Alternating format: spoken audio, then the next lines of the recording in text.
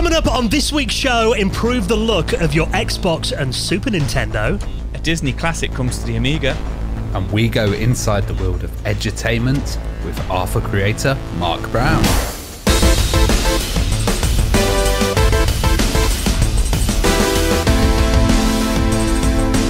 And the Retro Hour podcast is brought to you each and every Friday with our wonderful friends at Bitmap Books. Now, one of my favourite books they've ever done Commodore Amiga, a visual compendium.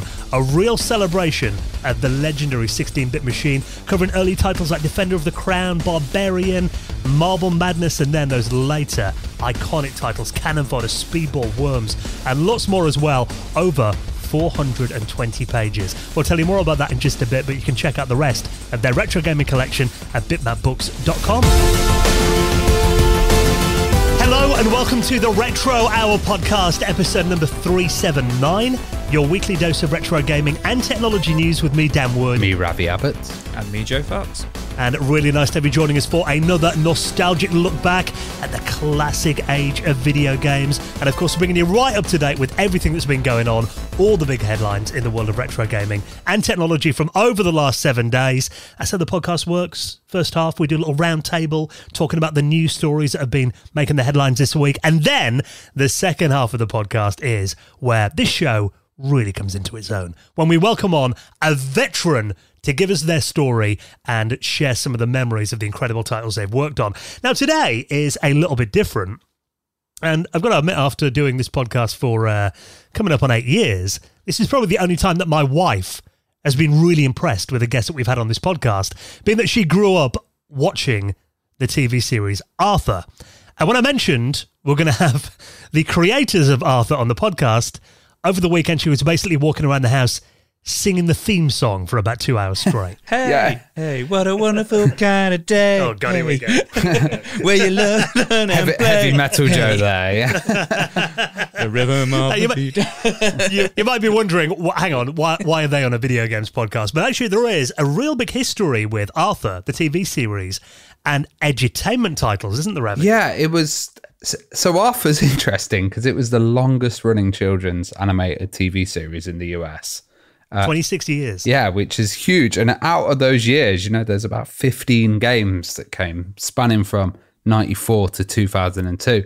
And edutainment is it's an interesting world because, you know, it, it's something that got packaged with stuff. You know, a, a lot of people's excuses for buying a computer was uh, education and, uh, you know, I'm going to do my homework on it and stuff. And I'm sure a lot of the Arthur games also got sold with that and, uh, you know, encourage parents to buy it. But interesting, Broderbund as well. Um, we're doing a lot of the Arthur games and there's a whole connection there with stuff like user interfaces and, uh, of course, the changing of digital media over the time uh, from 1994 to 2002. You know, you know, you're going from like disc to CD-ROM, and then stuff's really developing. You're able to add more stuff in there. It's it's it's a really interesting interview, actually. Yeah, so we catch up with um, Marc Brown, who was the the creator of Arthur, and his son Tolon as well. Now, uh, it's really interesting. We hear the story about how he came up with the character of Arthur that was basically a bedtime story for Tolon when he was a kid back in the 70s. And obviously, it started as books and then went into uh, an animated TV series. We even touch on, I mean, obviously, when that started in the 90s, it was kind of the tail end of traditional animation, wasn't it, where stuff was hand drawn. and it was one of the last shows that still stuck with that. You know, um, it, it it stuck out a lot longer than other ones did. Yeah, and then they made that transition to digital, and we hear so it's quite interesting. They actually did the uh, the animation for it in Flash, which kind of blew my for, mind a for little a bit. you know, TV show. Yeah, Yeah, we make websites in that. So we hear about that, and also, of course, the video games too. Now we did a whole episode um, a couple of months ago with Mickey Mantle talking about the Broderbund Living Book series. It's of course been brought back on a you know Zoom platform now, and um, also on platforms like the Nintendo Switch. So a lot of the classic Arthur games have been remastered and brought back for a new generation. So it is a really interesting discussion, and also kind of you know you think back to those early entertainment games. It was for a lot of kids that was their first time sitting down and learning stuff like you know how to use a computer mouse and how to click on things on a screen and how to operate a computer stuff that becomes valuable life skills. well, I guess that's maybe why that kind of Arthur Fist meme is uh, so relevant because you know people remember that from when they were kids, and then they all came online and started sharing it as a as a kind of symbol of rage. Um, yeah, it, it, it's really interesting the whole way it kind of plays into the digital culture. And I think that Arthur Fist is actually the same thing I do when like one of my computers doesn't work properly. So um, yeah, it is a really interesting chat. So we're going to be catching up with uh, Marc and Tolon Brown, the guys behind Arthur, and they're hearing all about the re-release of the Living Books as well. They're going to be on the podcast in around half an hour from now.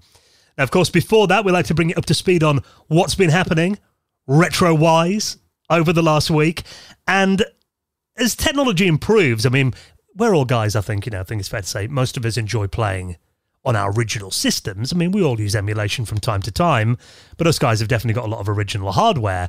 And it's always nice when you get new solutions to connect your classic systems to more modern displays and also make the visuals look a bit nicer as well, because that is one problem that we've got. I mean, CRT monitors and CRT TVs, as great as they are, they're not going to be around forever. So I think it is important that we do have ways of connecting them to more modern displays. And this one looks like a really good solution for the original Xbox. This is the Eon XB HD adapter. Yeah, this is a, a, a really interesting thing because it's not only a, a kind of upscaler or adapter, you know, uh, it's specifically designed for the Xbox. And um, mm. the way that it works is, you know, the Xbox signal, um, it, it, takes it out and it kind of improves it. So you can get to like 480i and uh, even 1080i as well, and it's got that lagless input. So this is it's it's, it's a bit of an expensive device, 152 um, pounds, and you know that's that's going to be for the real Xbox hardcore fan. But I think there's a killer feature in here that um, uh, a lot of people haven't kind of mentioned, which is um, it's it's got the Ethernet support, but it's got a free Ethernet LAN ports so you can have your Xbox and then you can have three other Ethernet ports connected to it, which means you can actually have LAN games and LAN parties like old school Xbox style. Of course, there's no Xbox servers anymore. So, you know, you can recreate that old LAN vibe that you had with your friends, set that up, uh, play Halo 2, uh, you know, some of the old classic ones. I used to love the whole Xbox on, online experience as well. Um, interestingly, as well, it's got the uh, mini mini Toslink audio jack, which is the headphones and the kind of um, uh, way that you would speak on on the Xbox as well. So I'm sure there's going to be lots of like uh, potential made for this and, and services, and I think it's it's really interesting as well. If you've seen all the generations of Xbox, they can all connect and like play some games with each other as well, which is interesting. So I can imagine this Ethernet port. You know, someone might put three generations of Xbox um, connected to this device, and then be able to have this like crazy LAN with all all the different systems. That's an interesting point. So if you played like you know a, an old original Xbox game on an Xbox Series X, could you actually play it. Yeah, I, I think they're cross compatible. So I went to okay, X, uh, I went to Play Expo, and they had like 360s that were connected to the original ones that were then connected right. to the modern ones as well. I think um, MVG's done a few videos on it as well, how you can still kind of connect them all up. It is very cool though because it basically means yeah you can have you know, a, a, LAN with a couple of original Xbox without needing a router connected up. So literally, you just plug it into you know this adapter yeah. here. Great for events like Play Expo, that kind of thing, where you know retro gaming conventions where you might want this kind of setup. Um, I do think it's very cool that it actually looks like the aesthetic of it mirrors the look of the original Xbox. Yeah, it's mm. not just a plain box. Yeah. No. So it really means that you can play those original Xbox games in much higher visual quality than you could before as well. It's actually got two outputs there too, which I think is going to be very useful for streamers. Mm-hmm. So obviously you can yeah. put one to your TV or your display and one into your, your streaming setup as well. So um, I saw Metal Jesus share this on his Facebook page the other day. That's where I spotted this, and he's quite excited about it. Um, there were quite a few people saying, you know, wouldn't it be better to spend your money on something like a FrameMeister? You know, if you've actually got a few different retro systems that you want to use it on. Obviously, I think it would be, but you know, if you've got you know real hardcore original Xbox fan And um, this looks like it will be a nice little expansion for it. As yeah, well. I think So- I think like if you had a FrameMeister or, or one of the things, you wouldn't get the features of the extra Ethernet, and you and you wouldn't get the uh, you know quality audio as well of the uh, Yeah. mini Toslink and the two outputs. So you know, um, it's it's got a lot more bang for its buck if you're a kind of Xbox person, but then it's not as general use, I guess, as other ones. I'll be interested to see because it boasts that it's got um, zero zero lag. Like you know, there's no latency on the input, so you know, controller inputs appear on the screen instantly. Um, not many of them can boast that. You know, with the like HD, you know, upgrades and stuff like that. Sometimes there's kind of like a, you know, a few nanoseconds, a split second kind of like delay, and you know when you kind of look at that and you kind of go, oh, so you know, it's not that bad. But when you actually sit there and you play it, like you know, when you watch people like Metal Jesus kind of showing off other ones, uh, which I won't name, and there is that kind of like latency, you kind of think to yourself like, oh, that's not too bad. But when you actually play it, you really do feel it. So Yeah. you know, these guys they're saying that that's not the case. It is going to be seamless, you know, and I don't know if that's because of it's specifically designed for the original Xbox, and it's not one of these ones that you know has a switchboard on it or a switcher or anything like that, so it works on you know several different consoles or anything like that. So once people start kind of putting out their their reviews of it and stuff like that, it'd be interesting to see that. Um, That could explain the, the high price of it as well. The Mm. fact that it's you know high quality components and you haven't got that lag there as well. yeah, And it's making me look at this thing. Yeah, know, I'd like to get this on my original Xbox. Although the Xbox that Joe promised me did sell at the Birmingham Gaming Market over the weekend. I promised it you like a year ago, Dan. Just saying, Joe. I've got some, one somewhere in the cupboard. I'm sure it still works. Um, but yeah, if you're a fan of the original Xbox, um, pre-orders are open for this now. I mean, you mentioned about the price. 152.95 Great British pounds. So you, can actually pre-order on their website at the moment and join a queue. And they reckon they're going to start um, shipping orders early next month, by the looks of it, early uh, early June. So uh, I'll put a link to that in the show notes if you want to check it out. The uh, new Eon XB HD Xbox HD adapter looks very cool. Now, Tim Stamper, the co founder of Rare, and before that, Ultimate Play the Game, he's been a little tease on Twitter lately, hasn't he? oh, people aren't happy with him, are they? I know. What's he been doing now? What's he been doing now? So I think we've uh, we've spoke about him on the news. God, must be the third time now in like two months. Mm. Um, so he's clearly gone through his attic or through his garage or something and just dug out some absolute treasures. Now, obviously, a few people have got a little bit annoyed about this, but there is really there's quite a simple ex- explanation to to. I think, I think, I think people online will get annoyed if you breathe. You know. Yeah, well, there's, there, there is that as well. But anyway, what he's got is he has got the, and it's funny because we spoke about Space World on last week's episode. He has got the 19, Only on the patrons bit. only on the patrons bit. Sign up if you want to hear that part. so he has got the 1997 Space World Zelda cartridge, which is labeled as Zelda N64. So this is Remind Ravi what Space World was so again. Space World was Nintendo's kind of E3 before Nintendo joined, started going to E3. So it was kind of like their their their um their expo to showcase what games they had coming out and what consoles and you know tech that Nintendo had coming out. Um, and it was in Japan. And obviously, Rare used to have a really close relationship with uh, Nintendo. Obviously, you know they did all the Donkey Kong Country games and the Conkers games and everything like that. So it's no surprise that he's got some really interesting bits of treasure from Nintendo, which were probably gifted to him over the years, or or even just given to him. At you know, I wouldn't be surprised if he was there at Space World in 1997. So this cartridge famously has like a really early tech demo for Ocarina of Time on it, which never actually came out. Like what's featured on it was never in Ocarina of Time, which is obviously a highly regarded game on you know one, if not the best Zelda game, one of the best Zelda games in the world. But the reason people are getting really upset with him is he's showing it off.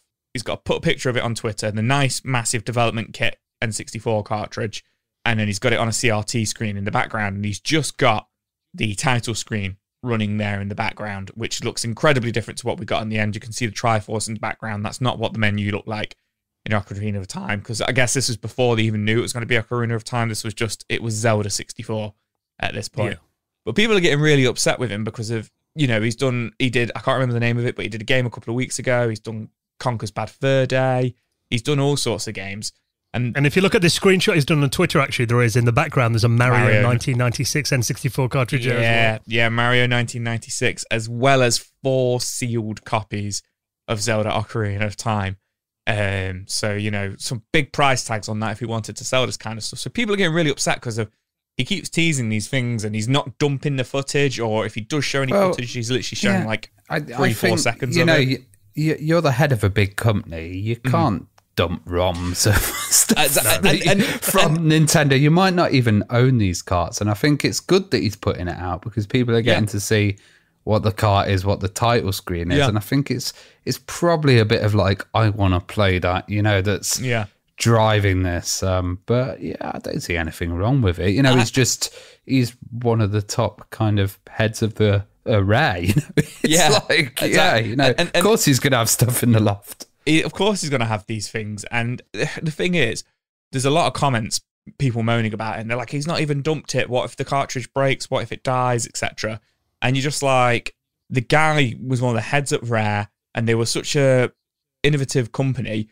He probably has dumped them onto a hard drive. I probably bet you they've got up. a huge archive of absolutely everything digitally done and their own Exactly. servers and all of this kind Exactly. of stuff. But also, And it might not be his property. You know, Yeah, you could get gifted these at Space World, and then it is it could- who knows whose rights are maintained for something and like if that. he if he, uh, no doubt undoubtedly if he suddenly just went yeah i'm ripping ripping zelda 64 and you know mario 1996 and conker's bad fur day 95 and all this kind of stuff here you go he'll nintendo will come for him straight away i imagine so well, know yeah, you'd probably ruin future partnerships and all of that, Exactly. and trust as well. You know, you've got to have trust with that kind Yeah. of stuff. Um, So- I think it's it's it's kind of good that he's showing these things, and um, yeah yeah, I don't know. I I just think it's people wanting to obviously have that version in their in their Mm-hmm. kind of private hands as well. Yeah or Which just, makes sense. And I mean, I, I've seen some, you know, there's people who've been threatening to rob his house and everything to Oh, get God. them, which, you know, is just. yeah, People that's take it too for you. far, don't Yeah. they? Yeah. It is. And I mean, look, I'm looking at this and I think, yeah, it is very cool that he's showing it off. I do think in, in some ways it would be nice if he had the time to maybe sh- just show a little bit more footage. You know, watching a little YouTube playthrough of 10 minutes of it would be great. But again, I mean, Nintendo's lawyers have took down videos and ROM sites for less than that in the past, haven't they? Yeah. So I understand why he might be erring on the side of caution, as it were. Um, but I do think it is very cool that he is at least showing off some of these very cool, rare N64 titles on his Twitter feed. So um, I'm sure there'll be more of them on the way over the next few months. I'm sure he's got quite a few in there. So if you want to check out the uh, the tweets so far, I'll uh, link that up in our show notes and uh, on your podcast app. Head to theretrohour.com. Now we talked about the Xbox mod. If you'd like your original Xbox to look a bit nicer, what about this? This is a new Super Nintendo modification that apparently fixes one of the biggest problems that people had with the SNES's output. so I I this I've had to read this about three or four times to try and get my head around it. So I didn't I'm I'm you know me, I'm not a modder. I don't know the ins and outs of inputs and outputs and sound and you know like the aspect ratio and stuff. I'm not very good with this kind of stuff, you know. I'm I'm I'm a simple guy with simple pleasures. But this SNES mod, it sounds quite interesting. So I've been on a bit of a, a learning, you know, journey here. So when the Super Nintendo launched, you know, 30 years ago now, not too long ago, it celebrated its 30th anniversary, and uh, I think it was last year. There was two different chips, two different variants of the Super Nintendo, which I wasn't aware of. So there was the one chip and the two chip. What it was is the one chip was actually a better quality chip, and the two chip wasn't as clear, um, and it actually produced some like kind of like blurriness on the screen um, and some sound blurriness. They kind of describe it as it just wasn't quite as good. And as as a result, Probably a cost reduced version, I imagine. yeah, That yeah, later, and, and as a result, the chip one models actually go for more money, which I wasn't I wasn't aware of this at all. So Hmm. really, really interesting. But what this mod does, which has been engineered by an engineer called Voultar, is is to resolve the blurriness of the chip two. So it's a it is a mod, a soldering mod to to the chip two, and it's called the the two chip edge enhancer, uh, which I think is really cool. Um, and I, I don't know how he does it because I'm not that kind of guy. Maybe you guys Um, can yeah, yeah. share So some it, insight on it, that. it works with the DAC, which is the uh, digital analog converter, which basically uh, converts the signal. But um, what he's saying, I think, in this one is that um, usually it's a, a low pass filter that's boosted, which is a, a kind of filter that's a, a, applied on top of it, and that kind of sharpens the image. But he's not done it that way. I think he's gone directly into into the DAC, and um, he's he's kind of done that. But he also says that it doesn't um, fully solve the issue of noise. you know. Right. Um, uh, that seems to be something that's gonna always affect the um, uh, the two snares. I don't think you know these machines were designed to go on CRTVs and also to work with, um, you know, the what people had in their houses and the kind of uh, lowest common denominator. So uh, you're never going to get that like beautifully kind of sharp one unless you go and update the chips or replace them or you know really really get into there or if you're upscaling it you're still kind of adding a filter or you're doing it with software you know it's it's a really tough thing to do and uh But he has shared some um, images of what the modification looks like um, on Twitter, and I mean the difference is, you know, it is definitely noticeable. But yeah, I think you know you are right, Ravi. It's uh, you know basically these machines were designed usually to be played on 14-inch crappy TVs that we had in our bedroom via RF. yeah So visual fidelity wasn't a big high priority for them back then, was it? So I think the fact that, you know, this looks like quite an affordable solution. I mean, obviously you could run it through something like a FrameMeister or a, a RetroTINK and it might look nicer, but it looks like, you know, this is just quite a simple little Yeah, I think board the only way that you ever kind of get perfect images is usually when you have emulation with like loads of stuff added into them software wise, you know, Yeah. that, that kind of changes it rather than getting it from the OG hardware, especially with the SNES as well. And uh, yeah, so other stuff you can tap directly into it, but it seems like this is a real issue with the with the actual chips on the board. Yeah, and when you're taking analog signals and trying to, you know, upscale them to, you know, 65 inch HD TVs that we've got today, there's definitely always going to be some artifacts there. But um, yeah, it does look like it's, you know, really interesting project and is a work in progress as well. Because uh, Voultar is quite a lot on the um, Nintendo scene. He's, he's actually the guy that's been kind of rescuing these uh, bricked Wii U's recently as well. Uh, you might have seen his uh, his project on that, his videos too. So um, yeah, it does look very cool. And I think you know if, if you want a nicer way to look at your Super Nintendo, because I think even when I hook it up via SCART, you know, on a CRT, now now I think about it, there is often a little bit kind of blurriness there. So if we can even clean that up, you know, for an affordable price, it will be worth doing. And the installation of it doesn't look that difficult. It looks like it's literally soldering like two It's wires. kind of like an old mod chip, isn't it? the installation. Yeah, probably easier than most of those were, to be fair. So um, that's a work in progress. We'll uh, we'll keep an eye on that one for you. Now, I'm interested to hear Joe's thoughts on this next story because uh, this is another Scorpion Engine game that is coming to the Amiga. This is actually a rather famous Sega Mega Drive game, Forest of Illusion.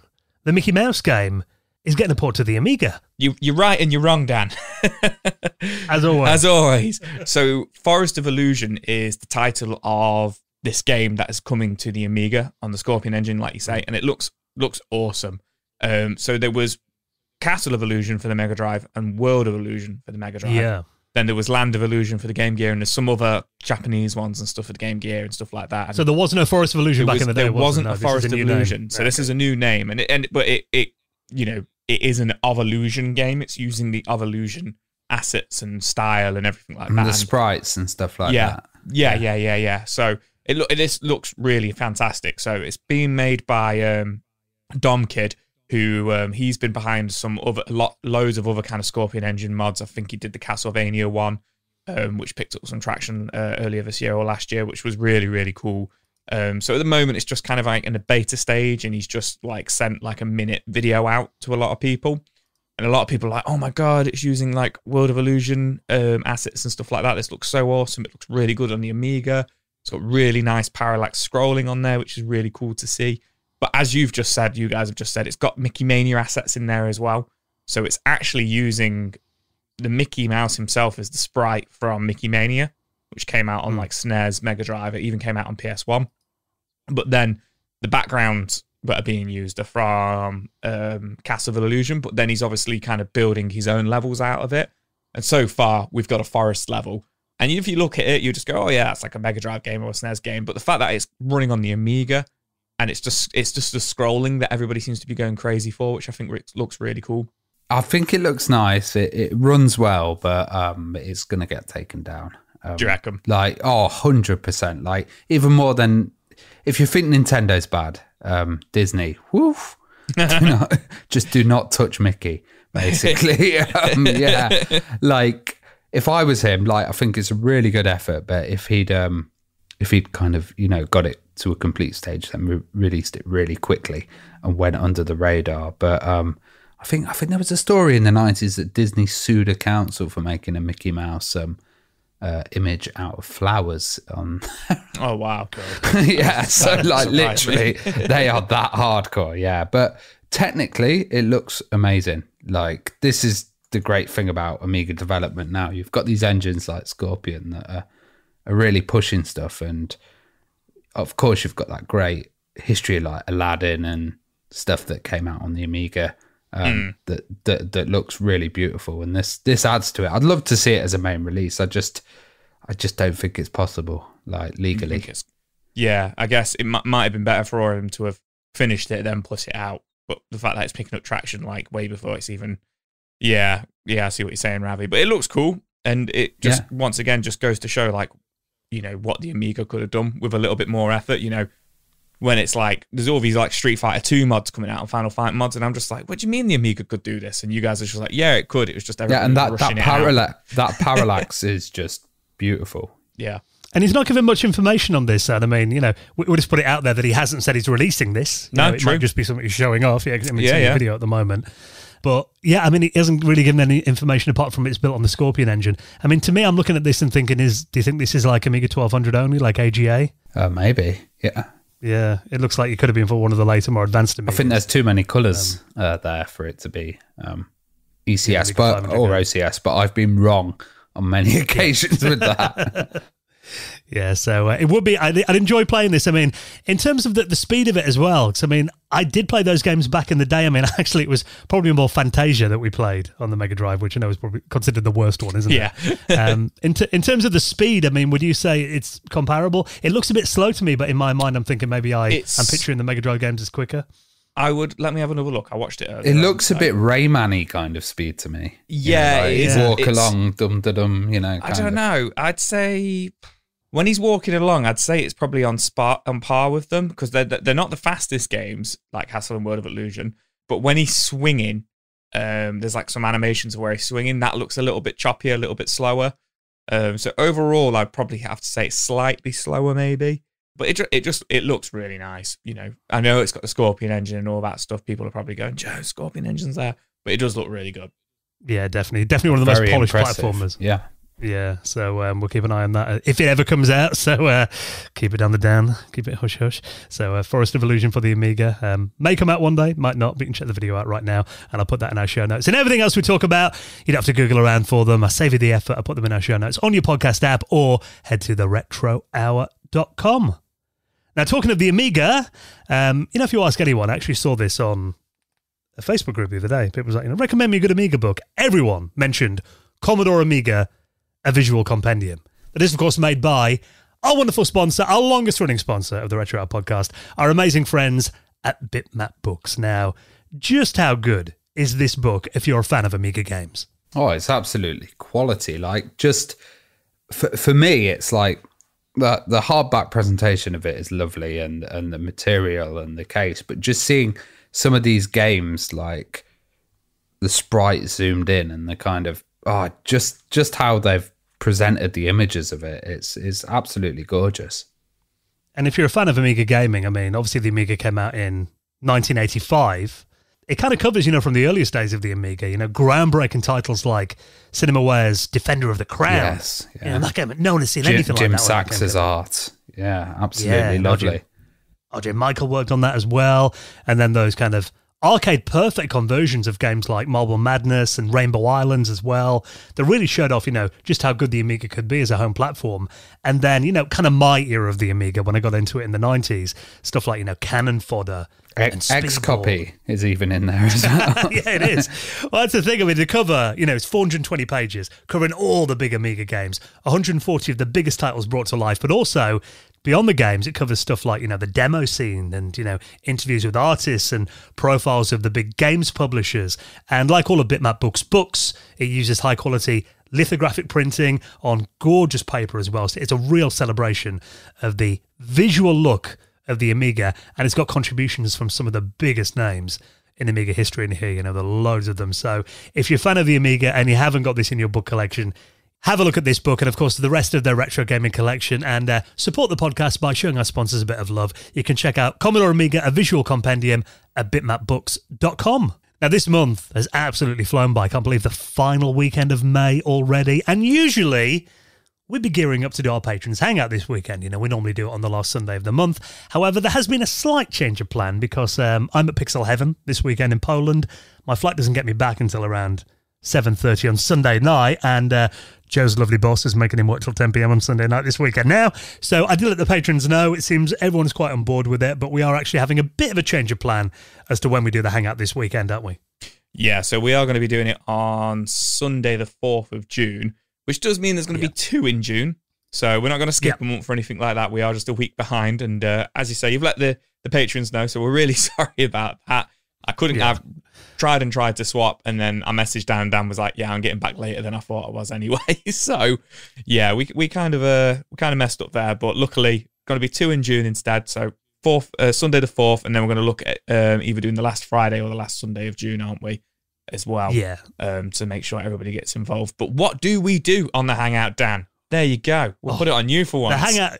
Well, that's the thing. I mean, I'm actually pleased that we're moving this because, you know, at first it's like, oh, I'm going to miss the hangout if my flight doesn't get me back in time, you know, and uh, I, just I would have put it on had to airport. do it solo, which would have been, uh, yeah, yeah. So it's good. Yeah, yeah, so it means we can all be on it, you know, because we all enjoy doing it as well. And, you know, we're always good if we have to miss one. So, you know, the fact that all three of us are going to be on with our patrons is wonderful. And we just geek out about all kinds of things. I mean, I'm sure I'm going to have some pickups to show off from Pixel Heaven, you know, when I get back from that. Um, obviously, Ravi's off to format. You've just done your gaming market as well. A lot of stories to tell about that. But really, we just kind of, you know, we hang out with mates, really. You know, we have a great community, sometimes up to about 40 people jump on the hangout. And, you know, when we get new people on, we always invite you to kind of show off your home gaming setup, you know, show us your geek den. That's always cool. We help each other out, you know, with, with advice on things. We do a lot of nostalgia, often talk about movies and music and gadgets. Anything goes really on the Patrons Hangout. It is an excuse to just nerd out for a couple of hours, once a month or, or twice a month, as it's going to be in June. Um, crack a drink open and basically geek out with some like minded people. We think of it as a bit of a virtual users group. So all patrons are invited to the Hangout. So if you'd like to join us next weekend, now is a very good time to sign up to our Patreon. And also for our gold members and above, we are going to be recording uh, a new episode of the bonus podcast that we do every single month just for our patrons, of which there are now, this will be our 36th episode of this, I believe, the Retro Hour After Hours. And we're going to be quizzing each other on the next episode, aren't we? Oh Yeah. God, mastermind. yeah, we're doing an episode of Mastermind, but all three of us are going for it, and we're all got to pick a subject for the other two to write questions for, and then we are going to uh, see who is the ultimate winner, or just see, you know, you know, bragging rights. They actually know what they know. I, I can't believe subject. Dan's picked Amiga already. I'm- Yeah, Dan, my specialist subject. Dan was literally like Bagsy Amiga, like straight away. So, so yeah, yeah. Ravi, Ravi's at a bit of a disadvantage, but you know, we'll see how we get on, won't we? It's just a bit of a giggle, isn't it? So um, this is a podcast that we do just for our patrons, and uh, you're going to get a new episode of that released next week as well. And uh, also, you get the normal episode early. You know, if I'm going to edit in time most weeks, you get extra, sometimes 10, 15 minutes of extra patrons only news. We've got a bit more news that we're going to do for our patrons in just a second. But really, the main reason that you're joining us on Patreon is just to make sure that we can keep bringing out this podcast each and every Friday. Really helps us with all the running costs and everything. And if you'd like to join us now, it's a very good time to do it. All the details are at theretrohour.com. Right then, next, we're going to be going inside the world of edutainment with Arthur creator Marc Brown and his son Tolon Brown. There are special guests next on the Retro Hour podcast.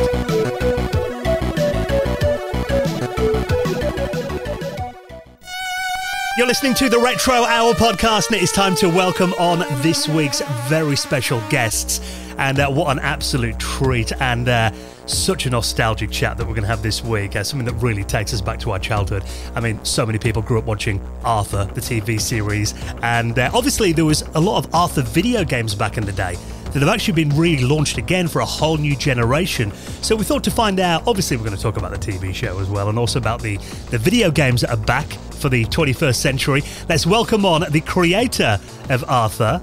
And uh, also, we're going to welcome on uh, Tolon as well. So we've got Marc Brown, who is of course the creator of Arthur, and Tolon, who is the um, the producer on Arthur, and also the uh, the VP of on-screen media as well, to find out a bit about the history of Arthur and uh, the games as well. So uh, welcome to the show, guys. Appreciate you coming on. Thank you. It's fun to be here. Thank you. Fantastic. Well, uh, let's start with you, Marc. I mean, um, Yeah. going kind of way back to the, the start of your career. Um, I know you started as an illustrator. I mean, how did you initially get started?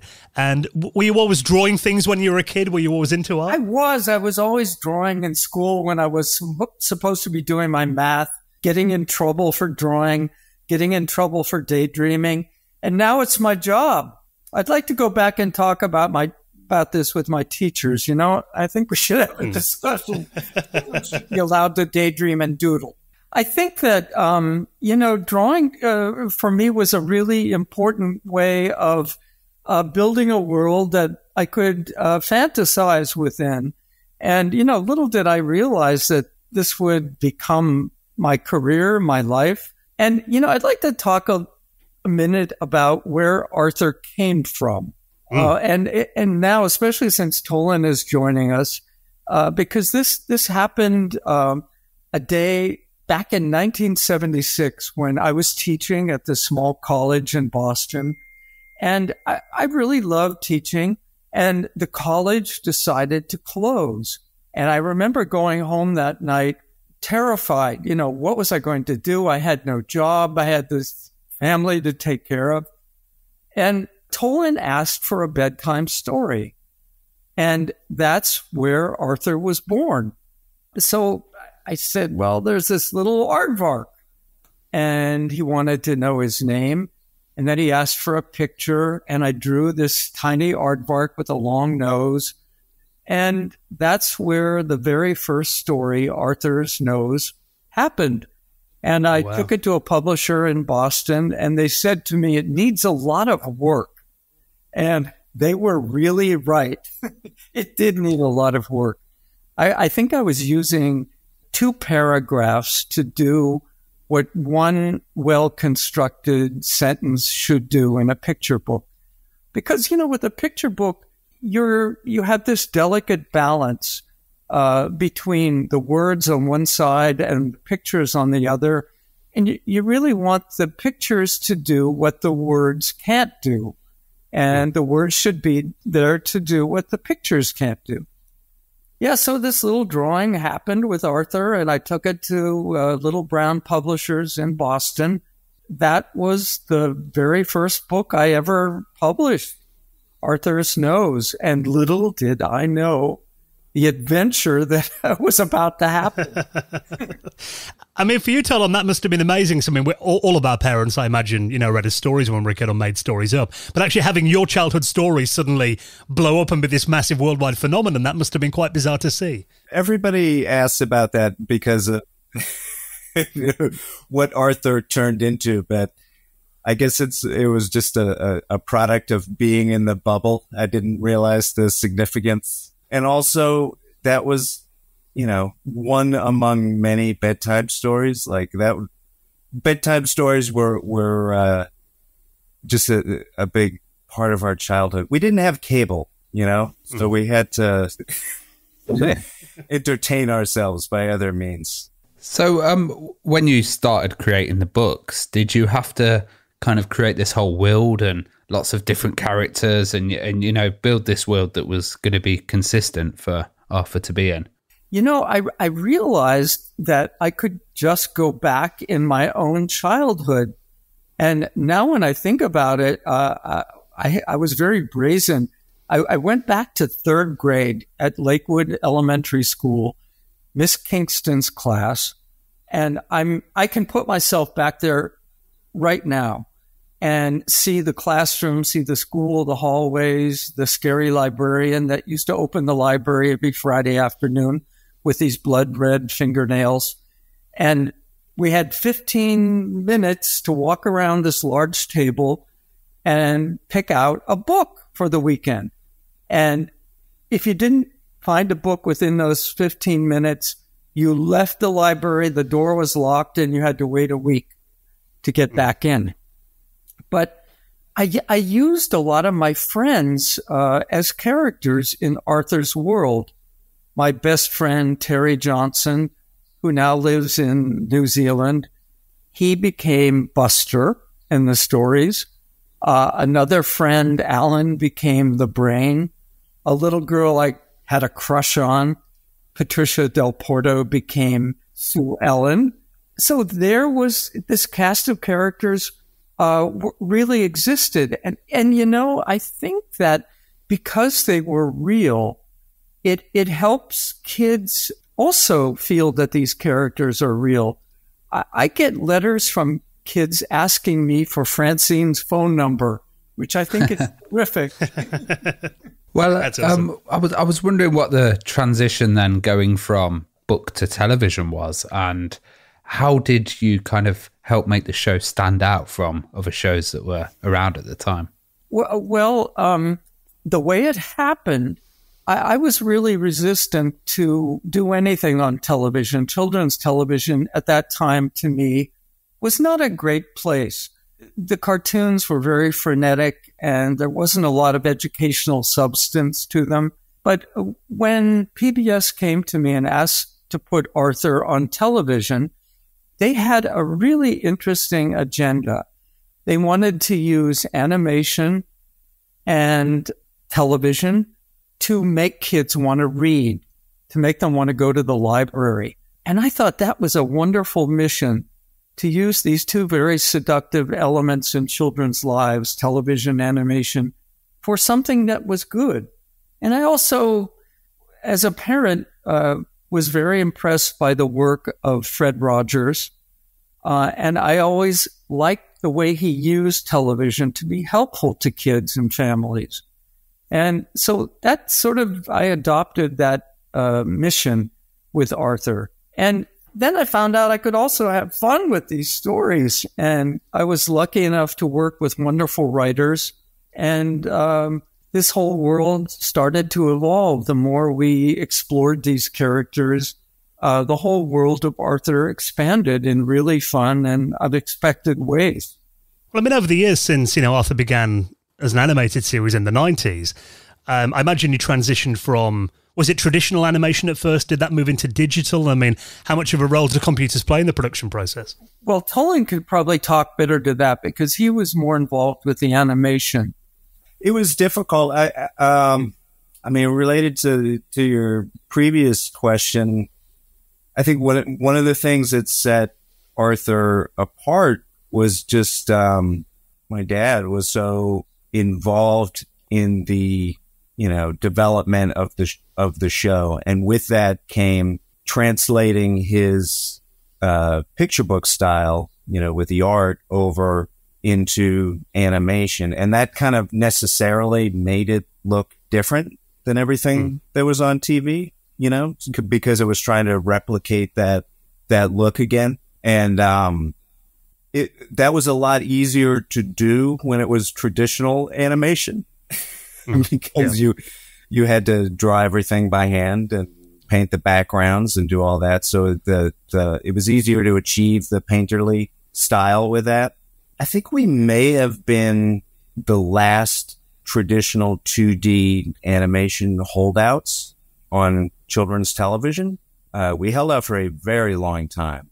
Was there uh, a lot of pressure to kind of, um, you know, go digital and uh, kind of, um, uh, there, you know, increase resolution and quality and stuff like that? Yeah, there was, and that that was an interesting thing too. You know, with the longevity of the show, we we for a while we lost a bunch of the early episodes in the uh, uh, seasons in the in the tra- transition from SD to HD uh, because it just wasn't there. Actually, the BBC I think was the only one to have them for a while because they redigitized them. I think we probably got a little pressure at the time to switch over to computer animation, which at that time was, you know, mainly just Flash, and um, and then we had to because there were no other options. Like you just couldn't, you just couldn't hmm. find anybody to do 2D animation anymore. It was all computers. So we eventually had to jump ship and it was, it was a learning process for sure. Kind of, we essentially had to reinvent everything. Yeah. You're making me think of that first meeting up in Montreal with the animation company where all of a sudden uh, this wor- little world of Arthur that exploded uh, and grew exponentially into this world that was animated. All of a sudden, the characters move. they were asking me things like, well, what does Arthur sound like? How does Arthur walk? Where is his house in relation to Buster's house? Where's his school? I had to draw a map of the city. Uh, and I also felt very strongly that I didn't want this show to be just about Arthur. I didn't want him to be the focus. I wanted mm. the world to be this ensemble cast where his family, his friends were just as important as Arthur. And uh, I think that is what maybe kids relate to the most because this world is like their own. And, mm. you know, they, they're part of, of, of his world. Uh, a reporter once asked me to describe Arthur in just a few words. And I thought for a minute and I thought, well, he's this eight year old aardvark who is navigating the mud puddles of life. And, you know, he doesn't always do it well, but, you know, what eight year old does actually. He needs help from his family. He needs help from his friends to get through difficult situations. And, uh, you know, I, I think that everyone who knows Arthur knows that he's a good friend and he has a good heart.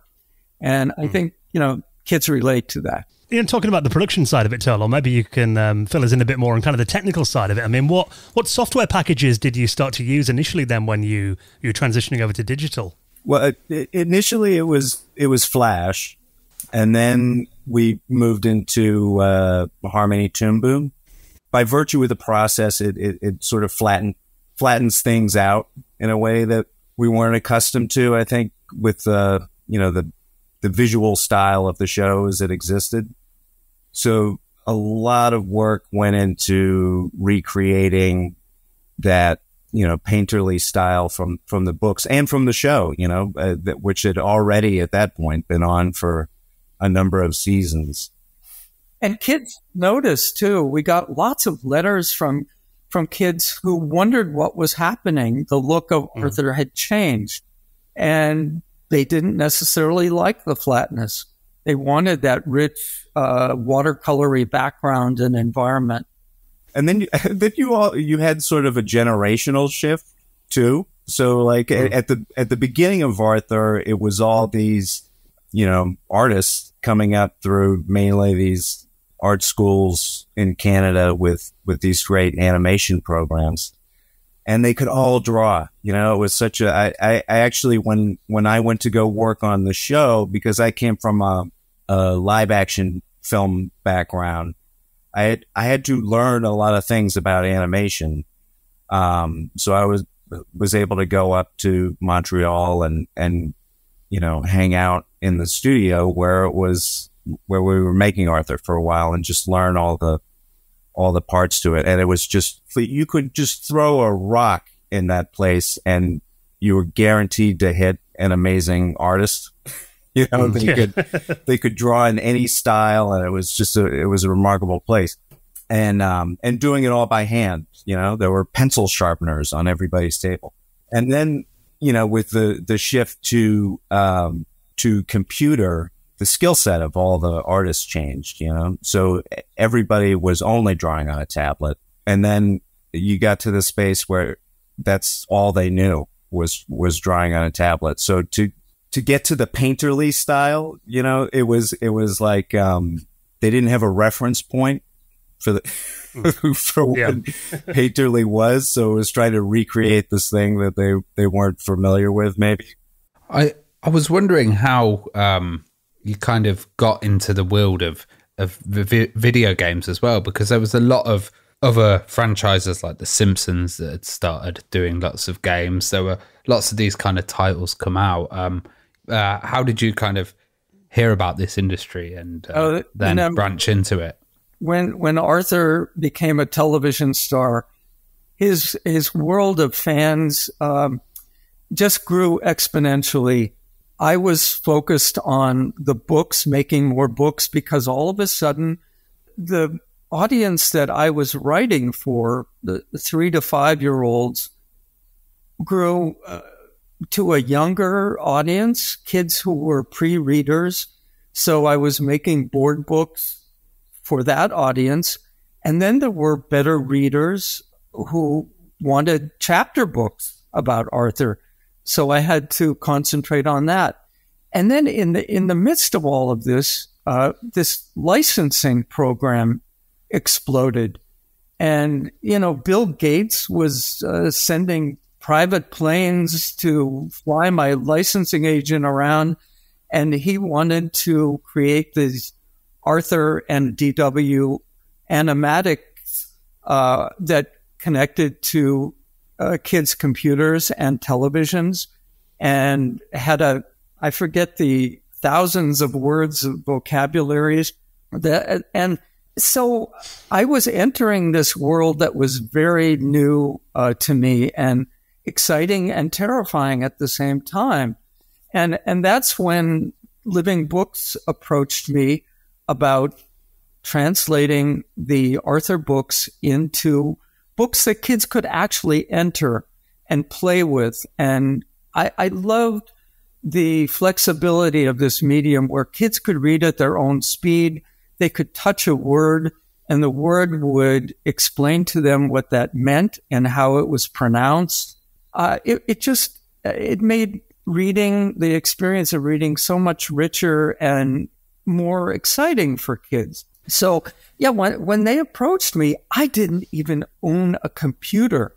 And so they sent me a computer and then flew from California to Boston where I was living, showed me how to use the computer and showed me how, how these games work. Cause I was like on the fence. I don't know about this new uh, idea about these books. And, and I was immediately drawn in and saw the exciting potential there for kids. It, it was really interesting because uh, Living Books was also uh, Broderbund who did a, yeah you know a, a, lot of titles as well, and I think those kind of animated games and that edutainment was really important to the PC market because a lot of justification of people we've had on the podcast has been they got a computer because their parents thought it would help with education and uh, you know bringing that in. Did you ever get like packaged with anything, or did it did it you know, uh, come in a bundle or anything? Any of the Arthur titles? Um, actually, I don't know about that, about how, how they were marketed, you know, but I, I just dealt with them as a one on one situation. I, I'm really surprised that they are still so relevant and useful to children. And now we're talking about adding to the library of, of these living books. And I, I think that's very exciting. Tolon's involved also with um, the television program and building games that relate, educational games that relate to the show, so they can extend what the kids watch on the screen um, and take it to their own private screen and continue um, the story storylines in in ways that they can control and have fun with. Well, it's yeah, it's it's funny. The uh, I mean, Arthur again from just the the period in time and the and with the longevity of the show, it um, you know all that unfolded at the same time. There were all these huge, you know, advancements in technology and and just the what was possible and also what was accessible to people. At like even um, the Broderbund Living Books thing. You you know you were talking about what was it like to be in the space with all these other characters? Uh, there weren't any. There, there wasn't a mm. lot when, when Arthur started. I think Arthur was the the first for uh, living books, you know, for for a branded character, and then prior to that, it was um, it was just Carmen Sandiego and and like uh, Oregon Trail on a green tinted monochrome screen. Lisa on a school computer, yeah, on floppy disks yeah. uh, in the computer lab at your school. Yeah. I was wondering about that because obviously you mentioned, Marc, that you, you weren't a computer user. I mean, Tolon you, would have been the age where, like you mentioned, you played stuff like Oregon's Trail at, at school. I mean, did, did you have to kind of convince your father a bit that this was a worthwhile medium? Were, were you excited about it coming to computer screens? Was I? Oh, absolutely. And, and especially the fact that it was Broderbund because they, they kind of, uh, they had that space sewn up, you know, the edutainment space and uh, it was right around the time when I think to try to convince Marc to do living books, uh, they they sent Myst. Do you remember that game, Myst? Yeah, CD-ROM game. Yeah. Oh yeah, it's a pioneering game that one was. Yeah, it was, it, and it was at like your mind was just blown when you pop that thing into the plastic CD caddy and then put it in the and then waited three minutes for it to load and got into that to that world and started clicking around and solving puzzles. I mean, it was like nothing you had ever seen before. So it, I think once once you had a chance to see what was possible, it w- it was a pretty easy ask. Well, do you remember any limitations that the early 90s PC hardware had when it came to translating the characters to a game? Were there any kind of technical hurdles in the way? My reaction was the characters felt a little stiff. I was wishing that they could do more. I wish that the animation was a little richer, which it certainly has exploded in, in that direction. But, uh, you know, those were my reactions uh, visually, mostly visually at first. But I don't know, maybe Tolon, you had other reactions.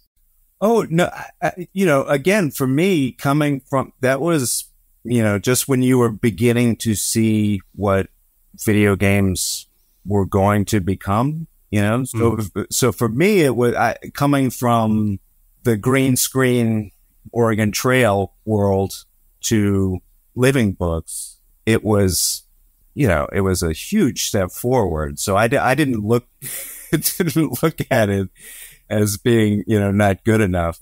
For for me, it was like, oh wow, this is amazing. And uh, how how much like freedom did they have at Living Books? Was there uh, a kind of brief that they had to stick to, and uh, was everything you know checked uh, so they couldn't you know change the characters or the or the storylines, and it had to be all consistent? I didn't really know enough about what the potential was, what the limitations were. So I would, you know, make uh, notes about how uh, this was. I, uh, can we do this? Can we do that? I, I remember hiding uh, things within the um, illustrations in the living books that kids could find and click on, and they would move, and it was a surprise element. Um, and, you know, I think that that was kind of suggested from my picture books where I would hide Tolon's names and my, my other kids uh, within the illustrations. And when I would visit a school and talk to kids and teachers and librarians, that was the thing that they most loved about these books, that they could find these names hidden somewhere within the illustrations. Uh, so uh, I really enjoyed that element being translated to the living books. And and that was the concept to to bring the book to life. I think right out of the gate, that's what they wanted to do. So they so they hewed pretty closely to the books. That was the starting point. Did you um come under any pressure to add stuff like junk food in there? Because I know at the time uh, a lot of other video games uh, about kids, there was a huge kind of advertising swell of um, like you know products and sweets and all of that kind of stuff going into there. Did you, feel, did you get any pressure, or were you kind of protected by uh, living books from that? Really, uh, we were protected. Um, I don't remember anything like that, but it's certainly something that would have uh, bumped up against me if we, if we hmm. were asked to do something like that. I mean, I'm just uh, horrified by the way television has used uh, uh, seduced children with animation and with commercials that get them to want to eat certain kinds of things or buy certain kinds of toys. So I had a, a, a natural resistance to that when I entered the world of licensing. I had this contract with an agent at the time. So I was kind of locked in to this world where I was constantly bumping up against things I didn't want to do. I didn't want Arthur to be a part of. And it took that three year cycle for me to be able to uh, fire this agent and sort of scale back uh, the licensing. So Arthur was associated with puzzles and games and things that were helpful to kids.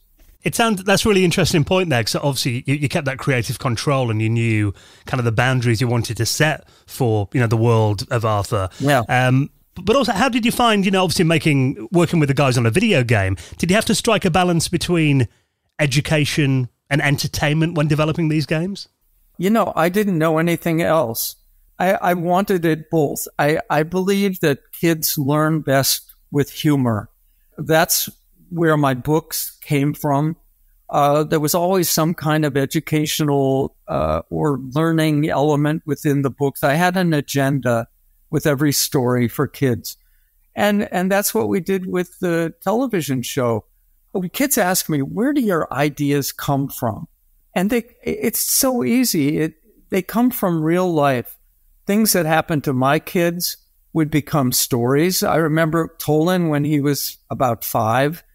He wanted to go to day camp, but he was a little afraid of leaving home for the day and being, you know, in someplace strange with strange people. And from that experience and watching him struggle with that came the book Arthur Goes to Camp. And then uh, my other son, Tucker, when he was in second grade, he wanted desperately to lose a tooth. Everyone in his class, I think, had lost teeth. And so he was trying to wiggle teeth that wouldn't wiggle. And that turned into another Arthur story, Arthur's Tooth. So, you know, I explained to kids that there are great stories around us every day. We just have to keep our eyes open, our ears open, and find something to uh, start that story within us and then have fun with it. And basically, that's my job and and a lot of that comes from from just um, I guess this is this would be the ad- advice to creators out there. Mm. You know, it's um part of how that happened.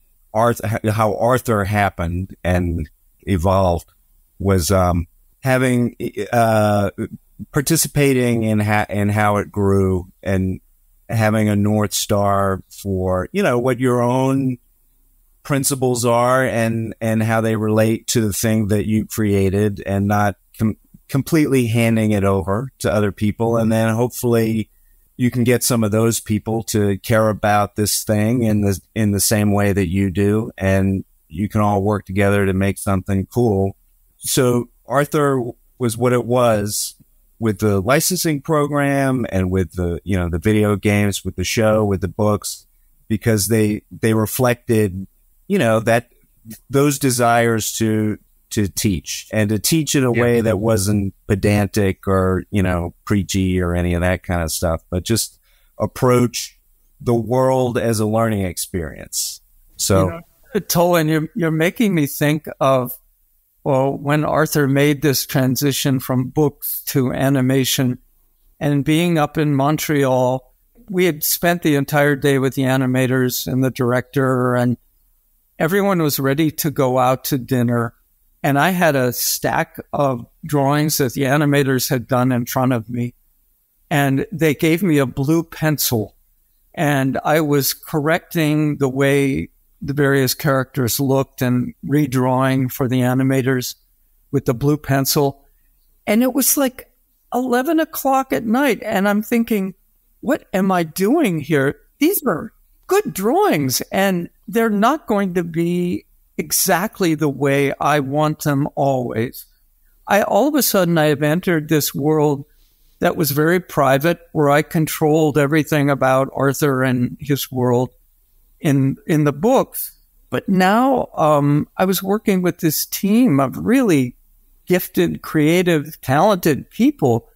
And uh, for me, it was this big learning experience, this door open that I didn't realized was going to lead to something so wonderful and exciting by being a part of a team uh, rather than you know this solitary experience in my studio.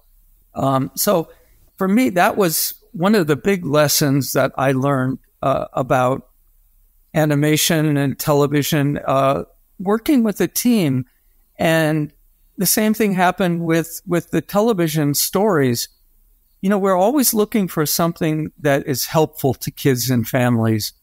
And mm. I kind of ran out of ideas pretty early on after they adapted all the, the books I had written. But then, you know, other families uh, were working on on the Arthur show would say, well, "My kids got head lice from sports at school, changing jerseys, and and so all of a sudden, these brilliant writers that we were working with came up with a story uh, about head lice that was funny, that it was helpful, and you know that's what we did for 25 years. I, I still can't believe that Arthur." It became the longest running animated children's show in history. I mean, they're talking about the, the video game aspect of it as well, and this is maybe something that you you can spot a difference in compared to books and television. I mean, the video game medium itself. I mean, do you think that can really enhance the storytelling experience of, of your books, especially for young readers? I mean, does that give it kind of a whole extra angle that that interaction? Oh, absolutely. I mean, to have a book move kids must come to these games and book experiences on the screen uh, the way I did at, at first. You know, when I was asked to move Arthur from picture books to television, I was very resistant. And I, I realized very quickly that the experience was very similar to creating a picture book, to creating um, a television program. You know, I would write my script, cast my characters, I would costume them, I would build sets for them. But in a book, I had to stop frame what I was seeing in my mind that was moving and, and what I was hearing. And with, with television, with, with these living books, I, I don't have to do that. The characters can move and kids can control those things. Uh, it's, a little miracle, actually. And, and I guess, in fact, they can take it at their own pace as well. You know, yeah, playing it on. yeah, I love game. that. Yeah. That mm. reluctant readers, especially, mm. could go into these books and make reading exciting for them rather than being resistant to learning how to read. And, and to me, that was the selling feature when living books first came to me. Well, Arthur's always been very innovative when it comes to technology. You kind of touched before on um, Microsoft's ActiMates, these interactive toys. And there was, there was an Arthur one in 1997. So, for those who aren't familiar with those, what were ActiMates? How did they work? And how did you partner with Microsoft then? What kind of happened there? Um, well, it, Bill Gates actually uh, came to us. He knew of Arthur from television. I don't know whether he has children or, or what, but he saw the potential of kind of connecting technology with um, this character and what kids were taking in through the books and through the television program. And so he had this idea that uh, he would create these, it was like a stuffed animal that um, would connect to a computer, connect to the television set, and, and kids could talk to it, build stories, uh, build their vocabulary through this toy. But you know, my first reaction was that it was very elitist. Uh, it was number one expensive. Not all families could afford this. Uh, so I had I had a problem with it right from the start. And you know, you, would buy the ActiMate, but then you had to buy another component in order to connect to your computer. Another component you had to buy to connect with your television set. So it became really expensive for, for families. And I think that's, you know, one reason that it didn't do connect uh, in a stronger way with kids. But now I'm sure they could do a similar thing for, for a much more affordable price.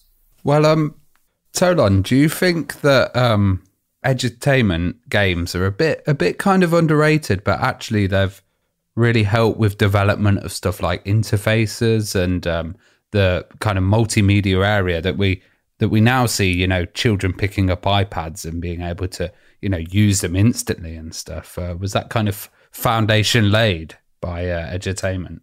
Oh, it, it, absolutely. I mean, it, it ushered in just how video games made you think, especially at um, how they began, and I, I, it still exists now just in a more advanced form, but it just, um, it was introduced a whole different kind of problem solving. You know, it was this puzzle based uh, approach to figuring things out. And obviously pretty tailor made for the for the edutainment space. But I think that just kind of naturally occurs in the medium to a certain degree. I mean, there the you know, for every Super Mario Brothers, there's you know a Myst or something like that that that really leans into that kind of. And I guess uh, Super Mario Brothers is still forcing you to solve problems, you Yeah. know, in its own way. I guess the interfaces as well over the time get more and more refined and easier for children to to use and interact with. And, and you know, you're making me think of how quickly this is happening for kids. Yeah. I, it was just 15 years ago. I was standing in front of 2,000 educators at a university here in the United States. And uh, I had slides I was using in my presentation holding an iPad. And I, I said to the, the teachers, how many of you raise your hand if you think this is a good way for a child to take in a story? No one raised their hand in the entire room. And I was shocked because, you know, I could see from my limited experience with kids in schools and taking in stories on, on iPads or on their computer, how exciting that was for them. So, I mean, in just 15 years, look where we've, where we've It's come. it's really like second nature now. So I I, I worked in an exhibition space and we had a, a TV screen which was um you know it wasn't interactive, but we'd have toddlers run up and just start hitting it straight away to see which elements they can start to change. Yeah, it's it, it's amazing the, the ubiquity of that technology and how easily it it is to slide into letting it become part of your life. You know, it's interesting how you mentioned that that change there, and I mean, particularly, you know, if we go back to when the, the first Arthur games came out, you know, thirty years ago now. I mean, you, you know, now it does seem like you know every kid's got a, a tablet or a you know a, Nintendo Switch or something like that. And today, I think parents understand the more, you know, the educational value and that they can learn things from them. But I remember, like thirty years ago, often you'd read articles in newspapers about how kids are becoming zombies by sitting in front of Super Mario Brothers and stuff like that. Was there ever any resistance from parents who didn't really understand the medium and didn't really see the value in it as a learning tool initially? Did, did that kind of change? Well, you know, I equate that to the mail I get from people, from fan, Arthur fans. It now is almost equally divided between parents and kids. I'm getting just as many letters from adults who loved Arthur, who grew up with Arthur. And I think that must be the same with uh, the way we're experiencing uh, taking in information now through technology. We now have parents who grew up with this technology who have kids, and it, it's part of their world. It's just part of their family experience. Well, amazingly, even if people haven't seen the um, Arthur series, they've probably seen online the meme of uh, Arthur's Arthur's fist. what, what what did you think when that became popular? Yes, uh, uh, uh, and you're making me want to share with you uh, another interesting project that's in the works, and it's an Arthur feature film, which kind of began with that meme of the fist, the Arthur fist. And who knew that this image would uh, connect with so many young adults who grew up with Arthur in such a powerful way as a symbol to express themselves? I mean, I first uh, knew of it uh, from oh, who was it? Was it Michael Jordan? Maybe Oh, LeBron! It was LeBron. LeBron James. Yes, he he started using it on in his social media, and it just and you know John Legend thinks he's Arthur, and I see him posting pictures next to Arthur. It, it's pretty amazing to me. It, and I have to say, by relative to the standards of the internet, the the memes have been remarkably respectful. Yeah. by, by and large, which is not not the case. But it's yeah, like it's, it's probably one of the most innocent memes online. Yeah. yeah.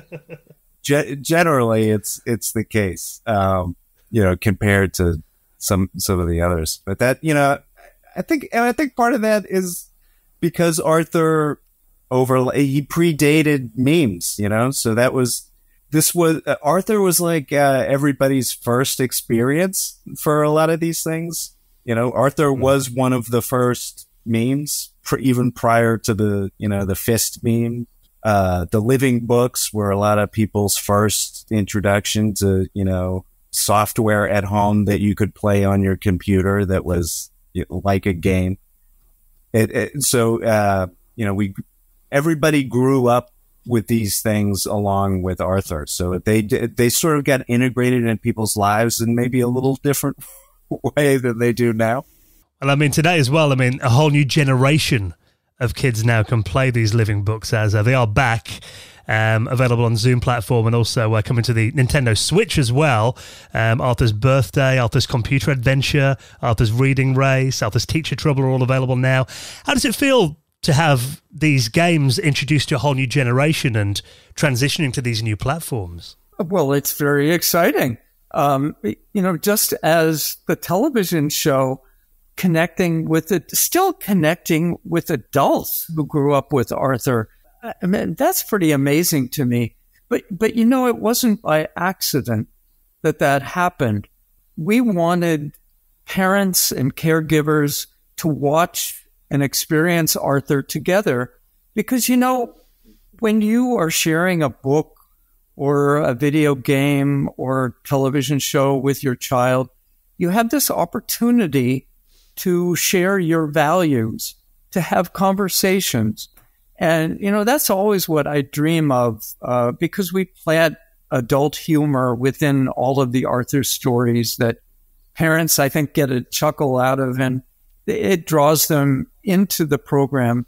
So they will uh, experience it with their kids. So, uh, I always look for opportunities to bring adults into the picture so that there is a conversation that can happen from these stories. Well, you mentioned about the feature film there as well. I mean, is, is there any plans to do any more Arthur video games as well? Is that kind of on the radar? Oh, I think there's going to be a lot of Arthur. yeah. He's he's now entering this new uh, world where he has uh, parents who grew up with him and they're sharing Arthur with their kids. And I think there's also an opportunity to age Arthur up a little bit. Mm. So that he is experiencing things at a slightly older age. I, I think there are opportunities for us to be helpful to kids and families to talk about social media and mm. what kids are experiencing, struggling with. It's a, it's another way to be helpful. That that would be incredibly helpful for people nowadays. Uh, that's that's a new agenda that Tolon and I are tackling. I think that proves the longevity of the character as well that he's remained relevant for so long. So, yeah, um, pretty amazing. Yeah, that is fantastic. Well, guys, it's been an absolute pleasure talking to you both. And if uh, people want to check out the uh, the re-release of the Living Books, I'll uh, I'll put a link in our show notes as well. I just got to say, guys, we I've done this podcast now for eight years. My wife generally doesn't get impressed at my podcast, but when I mentioned I was chatting to you, she was completely starstruck because she grew up watching oh. Arthur. So uh, I want to thank you for that. thank you. Hello to yeah. her. well, best of luck with it all, guys. Thank you so much, Marc and Tolon. It's been a pleasure chatting to you both. Oh, great questions. With pleasure for us. Thank you for caring.